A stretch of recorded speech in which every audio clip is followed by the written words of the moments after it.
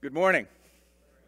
I am uh, under a vocal order from my therapist. I have uh, been doing some vocal therapy for the last four months as a result of some sickness and some bad decisions and a little uh, acid reflux and 30 years of preaching.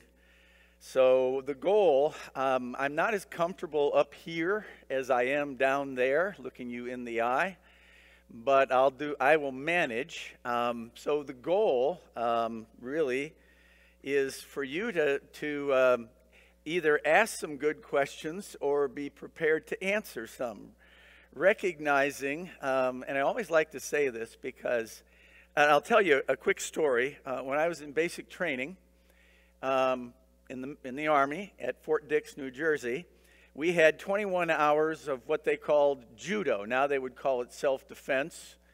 Uh, I don't know. They called it, uh, you know, judo training. And so we went through about 21 hours of that. And I'll never forget at the end of that, the drill sergeant said, uh, Men, I want you to know that you've learned just enough to kill yourself. So um, I like to think um, that there is a lot out there that I do not know. So, um, in case you're wondering, I don't know it all. I haven't figured it all out, and I don't have all the answers. So, once, once we get that out of the way, um, we're good. Um, I have known the Steenwikes, like I said, for 25, 30 years. Um, particularly, their um, is, is Mike your oldest son?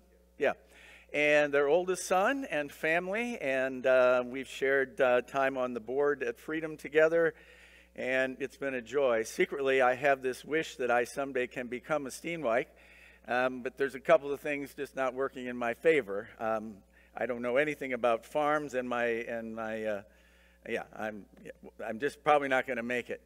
I have been married to my wife, um, who is known as the bombshell in my eyes for 44 years. We have three grown children. Um, and uh, they are all married, and they married well. And um, I have um, 10, 10 grandchildren, and they are spread across uh, three different states. So tonight, um, after I do a couple more jobs, I'm leaving to spend a few days with our son in New York, and then I'll be back Saturday because I am the pastor at uh, Lake Community Bible Church in Baldwin. You're always welcome to come up and see us at Big Star Lake. Certainly would love to have you. And um, I do do a few other things. Um, I want to say just a little bit about the course and about why I think it's important. Um, our three children um, uh, grew up, obviously, in a pastor's household. I pastored Robinson Baptist Church for almost 14 years. Uh, followed John Caulfield there.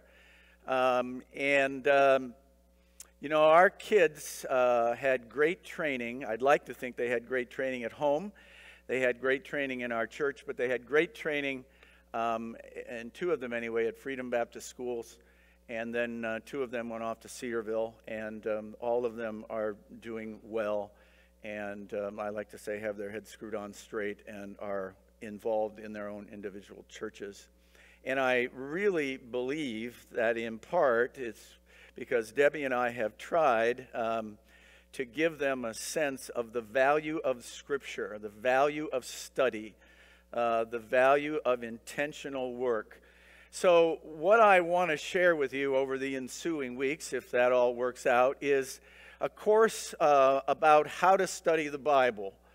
Uh, there's a great passage, you don't have to turn there, but there's a great passage in 1 Thessalonians where Paul is commending the Thessalonians, and somewhere down in chapter 1, he says to them, You know, the great thing about this is we don't, we don't even have to say anything because you have carried forth the message. You have mimicked the message, and you now have carried it forth. We don't need to do anything. And what a great idea for a pastor or anyone involved in ministry is to work themselves out of a job.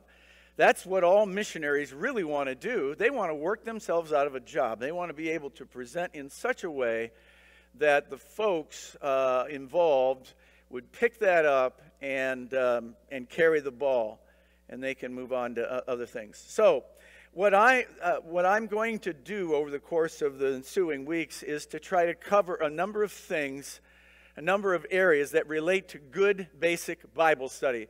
The formal term for that is hermeneutics. It simply means the science of Bible study. The science of Bible study. So I do think there is some intentional work in that. And, um, you know, I should say, um, of, of, all, of all the training I had, I looked forward the most over the years to uh, attending uh, Dallas Seminary because there were folks there that I had read all of my life. Uh, you know, folks like, uh, uh, uh, what's his name? Um, Pentecost. It's, it's, what happens when you got up at 345. Dwight Pentecost, for one. John Hannah for another. Howie Hendricks for a third, Chuck Swindoll for a fourth. I missed most of those guys, but I did get to sit under Howie Hendricks and Swindoll, and those were key elements in, in my life. And I mention that because one of the books I'm going to mention to you, if you want to get it, is a book uh, by Howie Hendricks. Actually, it was written um, with him and his son, William Bill. And um, just, just imagine, by the way, uh, Howie Hendricks was at Dallas Seminary for 60 years, six decades, teaching students the scriptures. It's estimated that Hendricks, over the course of his career, taught 30,000 students the Bible, of whom people like um, Tony Evans, Swindoll, Chip Ingram, and um, a, a, host, uh, uh, uh what's his name, um, Dennis Rainey. Uh, just, just, just imagine that being anywhere at the same place for, for 30, 40, uh, 60 years and uh, teaching 30,000 students. So the book I have, and you can look it up on Amazon. I'm not selling books. I don't get anything for it. I've used this book over the years uh, in teaching this course uh, at Grace Bible College. It's simply called Living by the Book. That's what it looks like. It's not terribly expensive. It's very, very readable. It's not, it's not written for particularly for theologians although I think it's sound.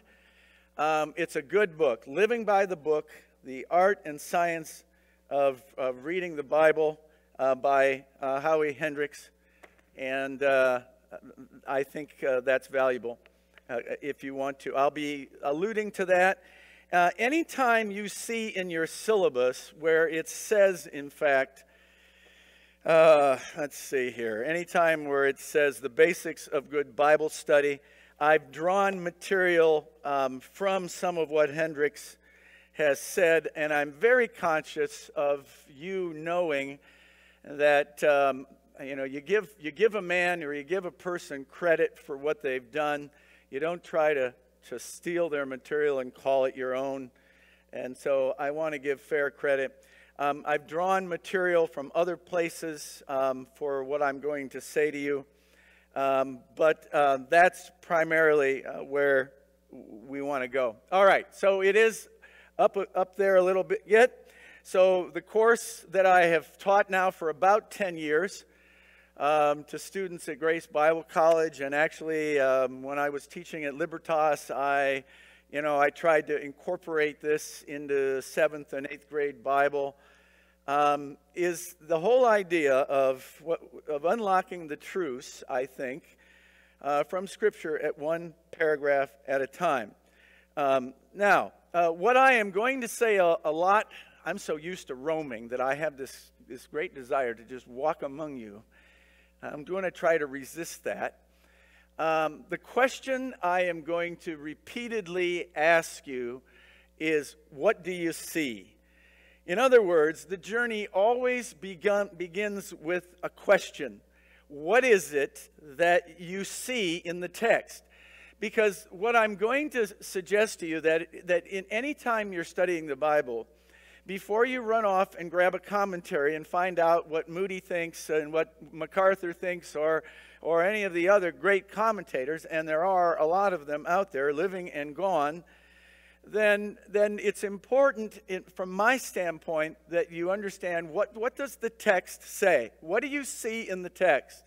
So in a couple occasions, in a few minutes, I'm going to just, you know, we're, we're just going to try this. And by the way, I think I will be done by 10, 10 or 10 o'clock or 11 o'clock or whatever that is back there before the floor drops out on me. Because um, my basic premise is uh, I don't have to fit it all in. Uh, I can always come back next week, um, assuming that's possible. I can always come back next week and, and pick it up where we left off. So, from my standpoint, the question always begins, and this is whether, whether I'm teaching a, a, class for high schoolers or whether I'm preparing for a sermon, I always do the same thing. I look at the text and I ask the question, what do I see? What do I see for key words? What do I see for clauses? What do I see for quotations? What do I see for subjects and verbs? You remember those, right? When you were taught those in English class? What do I see? Uh, are there places that make sense to me? Uh, in, in other words, is, are, is there geography that I'm going to need to understand?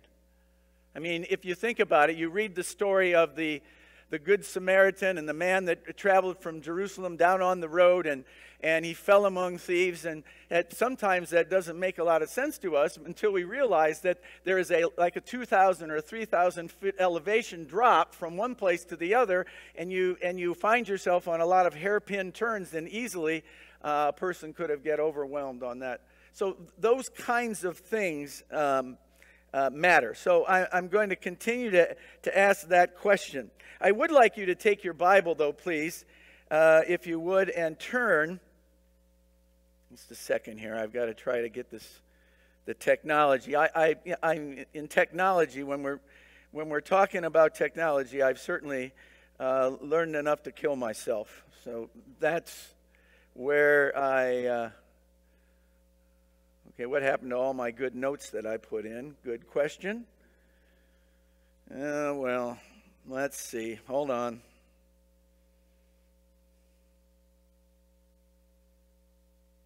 Aha. There we go. So I want to I want to start. Um, well, before I get you to, to the passage, I want to I want to go over a couple of introductory things. Um, there's a difference, um, first of all, and I almost hesitate to write anything on the board. Uh, my students at Libertas knew this. My students at Great, Grace knew this. I flunked penmanship, and my writing is abysmal. All right, but there are two words, and I um, I will write them up here, and I will then I will say them to you. And this probably is about as technical as I'm going to get today, and that's probably not big enough for you to see. But the two words I want you to understand are exegesis and eisegesis. So EX hyphen E G E S I S. EX hyphen E G E S I S. The other word is eisegesis, and, it, and it's EIS hyphen EGESIS. So, in other words, the last sections are the same. And this will help you in the language. X means out of, out of. He comes out of the water, we'll say. It would have that prefix. This means into. Out of, out of, into. Everybody with me? Out of, into. Yeah, I won't ask you to say it. So, when we do good Bible study, we are doing exegesis. In other words, what we want to know is what does the text have to say to us? Does that make sense? What is the text saying to us? We want the text to say to us what the message is. This, because I said this prefix means into, means I am now reading into the text what I want it to say. Now, one of the reasons that good Bible study always begins with reading the scripture itself is because we all bring certain biases into our study. Oh, we like MacArthur because we, or we like R.C. Sproul, or we like Chip Ingram. Well, those, all of us, those men and, and little old me, we all have prejudices. We all bring cultural prejudices. We all bring uh, geographical preferences, and we always have to be careful that we don't read our, under, our prejudices and our biases into the text and make it say what we want to say. So, what I'm always, I love being able to draw circles. What I am always going to argue is I want you, I want myself to, to learn from God's word on the basis of what the text has to say to me. And so, before I ever go to a commentary for any message or any study or anything that I preach, I'm always going over the text. What are the, what's the sentence structure like? What, where, where are the places? Where are the quotations? Well, you know, what is the context of the passage? And I think that will help us. Now, I want you to look at a couple of passages with me before we go on. Uh, Luke chapter 24, please. I've got like, uh, oh, I don't know, just a couple of passages here. Um, Luke 24, first of all, and this is a very familiar passage, so the word from which we get hermeneutics, and you don't have to know this. Oh, by the way, there will be no test. Everybody glad? There will be no test. Does that get me another five minutes? No, I don't. Okay. By the way, um, I also do not permit unhappiness in here. Um, and, and since I minister to a group of older folks, here's, and, and because I am an older guy, I am, I am, I never thought I'd be 65. Here I am. Do you know what I've discovered? Sometimes as we get older, th- more things bug us. You know, they just don't do that right. And sometimes you just got to say, you know, it's okay. God's, God loves me and Jesus is coming. How's that work? Does that work all right? So, anyway, hermeneutics, uh, the science of good Bible study, really has to do with the three, the three little passages I'm going to give you because it really suggests hermeneutics means that we find in Scripture an explanation of what God wants to say to us under, under inspiration. I'll get, we're going to talk about inspiration and all of that good stuff. Uh, anyway, but so in hermeneutics, we want, we want God to teach us. We want the Scriptures, here's another word you might like, to be opened up that's kind of what it means. All right, Luke 24. Jesus, of course, is on the road to Emmaus here. And if you drop down to. Um,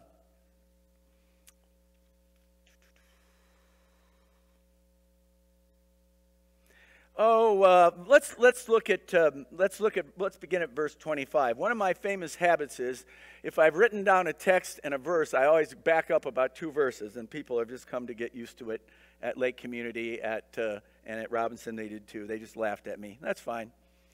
I'll get them in the next life. Um, no, I'm kidding.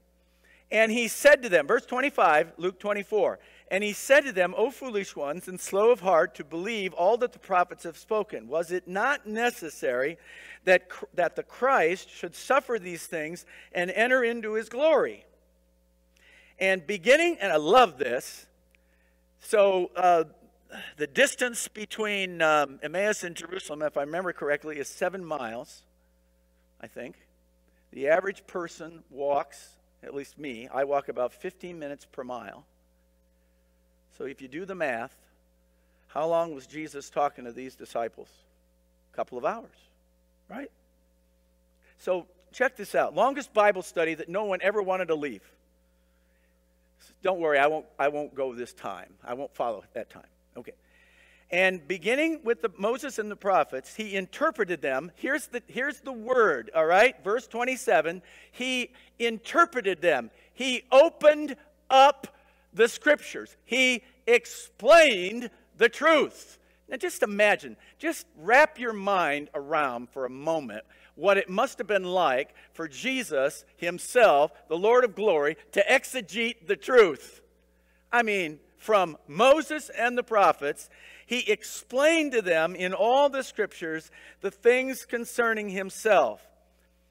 So, what you have here is Jesus opening up the text of Scripture, hermanoing, in other words, from where we get hermeneutics, giving them a first hand, front row seat of everything from Moses to the prophets, all the Old Testament concerning himself. He exegeted the truth by opening up and explaining to them the truth. Isn't that great? Isn't that great? Thanks. There you go. You can do this. Acts 8:31.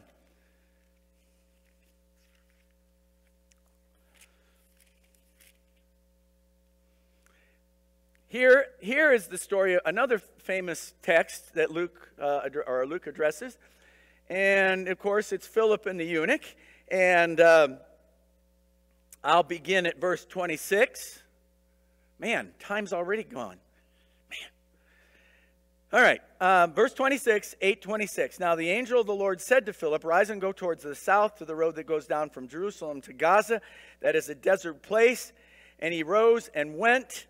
And there was an Ethiopian, a eunuch, a court official of Candace, queen of Nuke, a court official, I'm sorry, of Ethiopian, excuse me, who was in charge of all her treasure. And he came, um, he had come to Jerusalem to worship and was returning seated in his chariot, chariot, and he was reading the prophet Isaiah. I think, by the way, he was a God follower or a God interested person, but not a believer. And the Spirit said to Philip, verse 29, Go over and join the chariot. So Philip ran to him and heard him reading Isaiah Eh, the prophet and ask, Do you understand what you're reading? Verse 31 How can I unless someone guides me? Someone hermanos me. Someone opens up the text and explains it to me. And so you know what happens next, and he does that very thing. Okay? 2 Timothy 2:15. This will be very familiar to you, obviously. 2 Timothy 2:15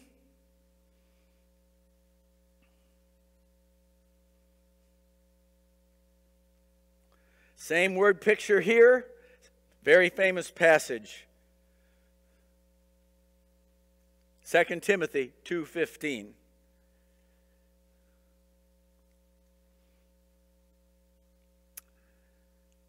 Do your best do your best to present yourself to God as one approved, a worker who need no need to be ashamed. Here it is, rightly handling the word of truth.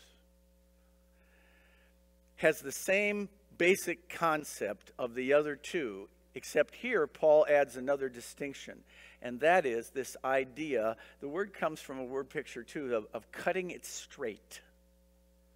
In other words, doing being so diligent in our study that we cut a straight path from the text to our understanding. And by the way, um, does anybody remember what Paul's occupation was? What was he? tent maker, which means here and there he was involved with fabric. And you and I both know, I'm, my first grade teacher said to my mother in about, about 1963, she said, Mark is a wonderful boy, but he can't cut straight. I couldn't. I couldn't handle scissors. I still can't. Can't cut a straight line to save my life. But can you imagine what happens if you don't uh, cut straight a piece of material that you're going to sew together with a tent?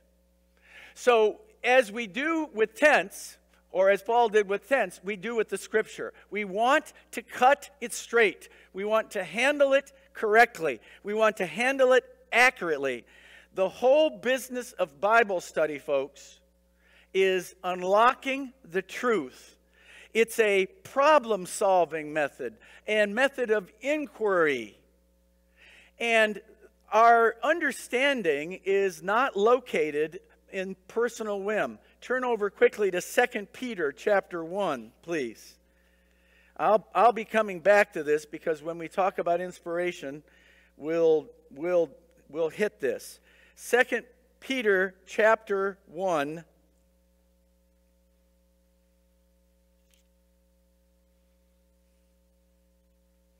Actually, we'll back up to verse 20. 2 Peter 1, verse 20. Knowing the, this first of all, that no prophecy of Scripture comes from someone's own interpretation. Uh, put it another way, someone's own whim. For no prophecy was ever produced by the will of man, but men spoke from God as they were carried along by the Holy Spirit. I'll say this again, but that word is the same word that Paul uses in Acts 27 when, when he says that the ship was carried along by the wind where the wind wanted it to go. Here, the, uh, the understanding is uh, I don't make this up as I go along. I depend on the Holy Spirit to push me into understanding because that's how the text of Scripture was created. And we'll talk more about inspiration later. But a good understanding of Scripture is not done in personal whim, it's done by surrendering uh, to the Spirit's activity. All right. Um, as long as you're in 2 Peter, I want you to back up to chapter 1, please, because every journey must have a goal. Every journey must have a goal. And I love this passage for a number of reasons. Um, I did my, um, my doctoral work on a guy named Jonathan Edwards, who was a Puritan theologian and pastor um, in, um, in Massachusetts in the 1700s. Uh, he's a wonderfully interesting guy. Um, his church had enough of him after a few years, and believe and he was pastoring at what was called, uh, I think, uh, Northampton, Massachusetts he was the closest thing that you could ever say to a megachurch. He had like 500 members, and they got mad at him after a while, and they fired him because he had a disagreement with his his uh, his grandfather, or yeah. And uh, you know the funny thing back though, they couldn't find anybody to preach, so they called him back. Preached uh, as an interim for quite a while. But I, I, my dissertation was concerned with the spiritual disciplines of of, of life. And I looked at about 600 or 700 of his sermons to see if he really believed in his preaching what he taught in his life. Well, the reason I mention that is if you look at verse 3 in 2 Peter 1, take a look at that. Now, uh, I've spread this over three slides because um, I, I needed to keep that big enough. Is that big enough, by the way, where you can see it? Oh, goody. All right. The journey must have the goal. I love this passage, and I'm probably going to get excited. I don't get excited much, but I probably am. Okay? Look at verse 3. His divine power has granted to us all things that pertain to life and godliness. Stop. In other words, everything you and I need to function in a difficult and a contrary and a world that's lost its way is given to us through divine power. Isn't that great? Yes. Thank you. Through the knowledge of Him who called us to His own glory and excellence. Look at this, verse 4. By which He has granted to us His precious and very great promises, so that through them you may become, look at this, partakers of the divine nature. Stop. It doesn't mean we're all going to become little gods, but what it does mean is that literally, as we walk with Christ and, and develop the maturity that He wants us to have, we tap into the divine nature. Wow. Or, as my kids would say, or maybe they didn't, cool. I guess I said that. Or radical. Or awesome, man.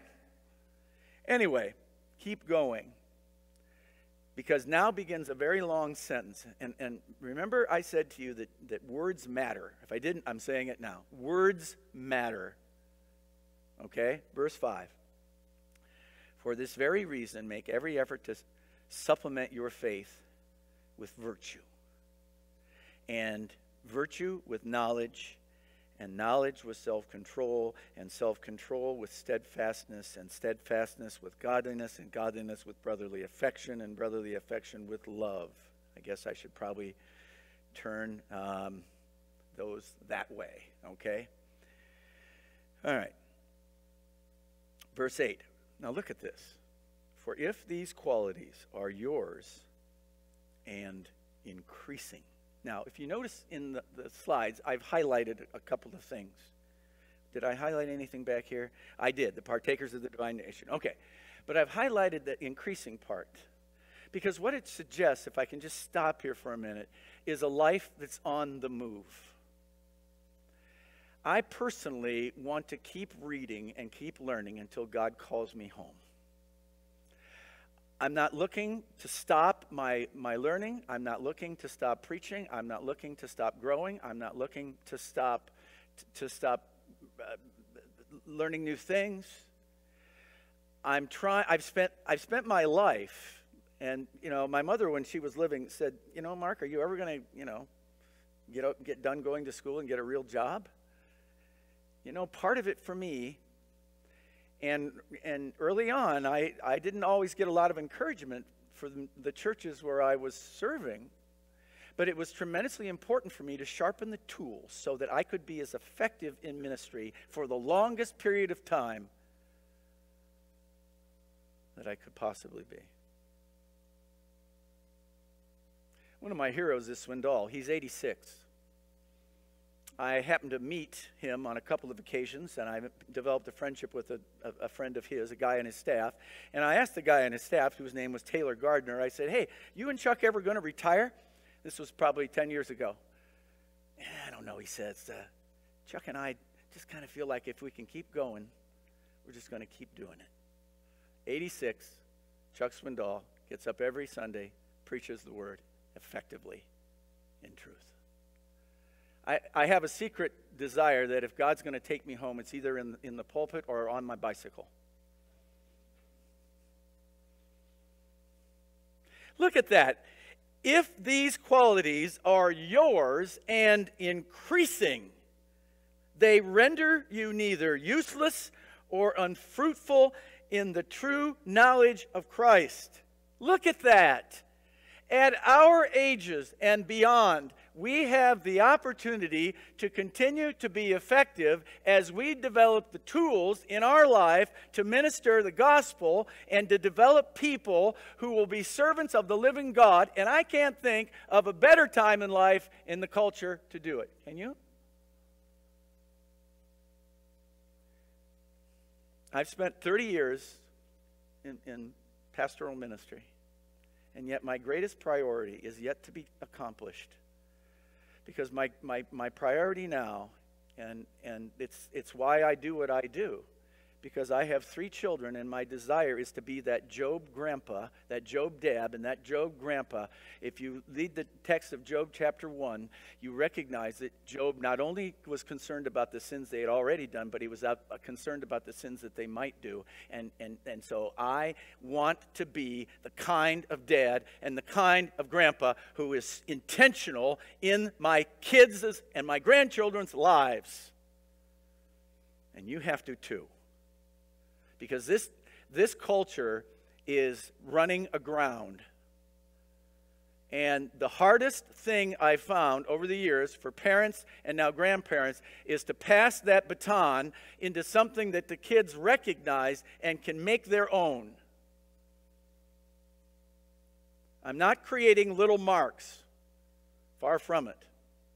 My two boys are much better dads than I ever was. But um, that's my goal.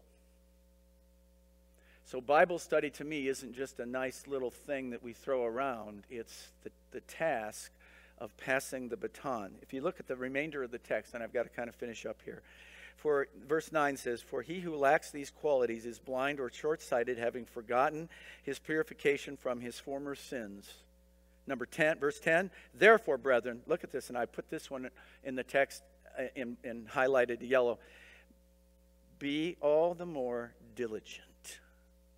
It suggests work, it suggests effort.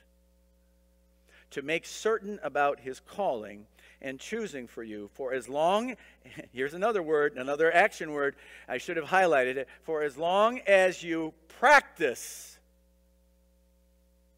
these things, you will never stumble. When I was 16 years old, I chose for myself, having rededicated my life, a verse that has stuck with me ever since, and it's a wonderful verse, 1 Corinthians 10:31. Whether therefore you eat or drink or whatsoever you do, what is the rest? Do all for the glory of God. All right. Um, let's do the next slide, if we can. Um, why should we study the Bible? And I, I think what I'm going to do I think what I'm going to do is highlight these and come back to them next week. I, I needed to kind of get a feel of how much how much I can do, and I kind of was a little concerned uh, where would the farm report go and how would that how would that kind of affect the you know the, the, the scriptural teaching? Let's see, I gotta I gotta follow the farm report, and that's pretty hard. That's a hard act to follow, you know. You didn't get into that whole thing I was telling my therapist about you, that whole thing where you tell them about how many days it has to be so hot and how many, you know. That, yeah, you didn't. Yeah, you didn't tell them about that. Did you ever tell them about that? Okay, all right, okay. Why should I study the Bible? And I'm, I'll, I'll let you, for homework, as it were, look up these passages, and we'll talk about them next week. And then I want to leave you with one more slide, and then I think I'll be done. And then I'll fit that 10-10 thing um, why should we study the Bible? Number one, it's essential to spiritual growth. It's a feeding, and that's the you know, you know the, the, the, the, the passage where Peter says, uh, like, like milk, you should desire this. We'll come back to that next week, but at least you you hear me saying it. Why do we need good Bible study? Well, it's essential for spiritual growth. And three words that are associated with that relate, and I'll come back to this again our attitude about it, our appetite for it, and our aim in it. Our attitude about it, our appetite for it, and our aim in it. Um, the second reason I think we should study the Bible, that seems pretty basic, is that it is essential for our march towards maturity. Um, I happen to be preaching through Hebrews right now at Lake Community Bible, so I'm going to tackle this passage in a few weeks. But this is the passage where the writer says, You know, you should be at this point in your career, you should be teaching others the basic oracles, the stoicheia, the, the basic principles of the Christian life. But you, you're not even you're not doing that because you haven't even figured it all out yourself. You're not mature. You're still, you know, milk is a wonderful thing, saying that in front of a dairy farmer. Milk's a wonderful thing. But there comes a time in our life when we need something more than just milk. And that's the, the essence of the, the comment by the writer is look, you should be much further down the road than you are. Thirdly, it is essential for effectiveness. This is where Paul, of course, tells Timothy that the Word of God is, is, is, is divinely inspired, it's breathed out, as it were, and it's, and it's pr- profitable for teaching, for rebuke, rebu- reproof, and all those other things, training in righteousness. And then he says, so that, so that the, the believer will be equipped and ready for the task, something to that effect. We'll come back to it. But it is essential for spiritual growth.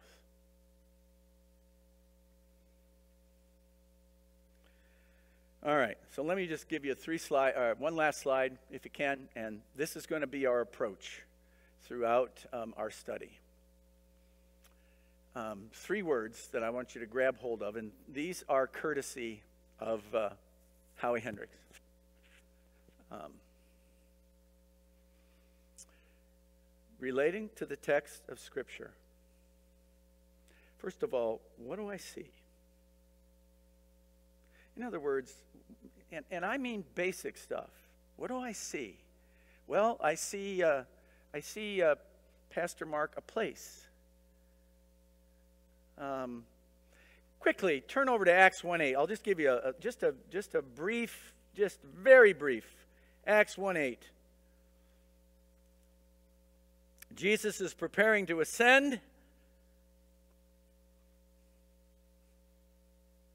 I'm not going to, I'm going to give you a week where you don't have to answer.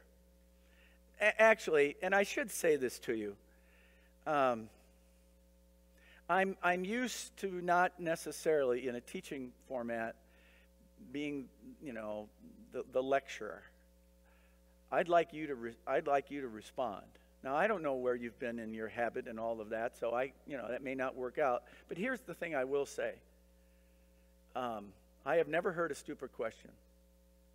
All right, and I will never ever belittle you um, for a, a question uh, that you've made.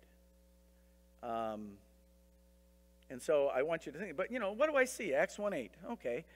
Uh, but you will receive power when the Holy Spirit has come upon you, and you will be my witnesses in Jerusalem and in all Judea and Samaria and to the end of the earth. What do I see? Well, I see places. I see Jerusalem. I see Jeru- Judea. I see to the ends of the earth. I see, I see a, a, a what we call a cause and effect. Um, I'm going to receive the power, and then something's going to happen. Um, if you're, and hopefully, um, how can I say this kindly? Um, it's not a sin to write in your Bible, unless you're writing, you know, Betty loves Fred, something like that. You know, mark up the Bible, mark it up. What's the subject? What's the verb? What are the, what are the places? What do those places mean? How do they, you know, so there, there is no stupid question here. There is no um, min, uh, minuscule fact. Everything in the text becomes important. What do I see? Okay. Secondly, what does it mean? Now, I need to clarify something. You're going to hear me say it all the time. Um, and so here it goes. I suppose I should have put this on a slide. The text can never mean to you what it didn't mean to the original listeners. Okay? In other words, if we come up with some harebrained interpretation that is so far distant from what uh, the writers meant for that person who was going to read that letter or that, that piece of parchment, then we have missed the boat. The text can never mean to me what it didn't mean to the original listeners. The text can never mean to Mark what it didn't mean to the, uh, the folks in Jerusalem in Acts 1 8. Okay? Uh, and that's kind of a basic tenet of good Bible study. And what that really argues is for the, the, the con- what we call context. Um, part of my frustration sometimes with people who are of, an, of a persuasion where they see the Holy Spirit everywhere, and the Holy Spirit is everywhere, I mean, but they, you know what I, I think you know what I mean, is that many of the passages that they draw upon are out of the book of Acts. And the book of Acts is a wonderful book, but it's a transitional book. Things happen in the book of Acts that never happen again. They aren't part of the program of the epistles, of the letters. So, in other words, interpretation matters. Thirdly, I love this part because in, when I used to teach speech at Grace Bible College, there's always what I call the so what question. After you've labored on for 15 minutes, so what? So what? What is it? So the application is what do I do with it? What do I do with it? Um, it is Swindoll, by the way, who's credited with coming up with the term longhorn sermon. Do you know what a longhorn sermon is? It's a sermon with two points and a lot of bull in between, if that makes sense. Okay. All right? I thought you'd like that for, you know, the, that's my animal husbandry for the morning. Two points with a lot of bull in between. That's a longhorn sermon, okay? But the fact of the matter is, there needs to be application. What do I do with it? How do I put this on and walk with it?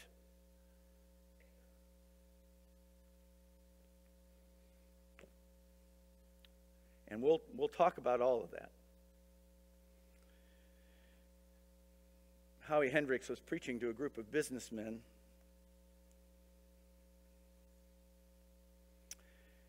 And he asked them what would happen if you operated your business with a similar knowledge level as the scriptures.